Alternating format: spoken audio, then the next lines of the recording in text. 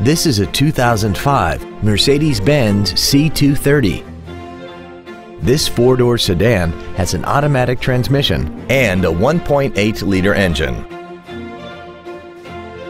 Features include alloy wheels, air conditioning with automatic climate control, cruise control, a CD player, a leather-wrapped steering wheel, fog lamps, traction control, an anti-lock braking system, steering wheel mounted controls, and a sunroof enables you to fill the cabin with fresh air at the push of a button.